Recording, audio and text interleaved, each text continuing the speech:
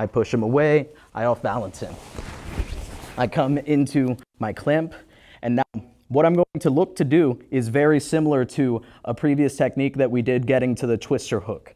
So I'm coming here, I push him, and I get my X, okay? So this time, instead of coming up and clamping halfway, we're going to fully invert. So my head is going to come underneath his butt, and I'm going to pop out of the other side. So I'm kicking,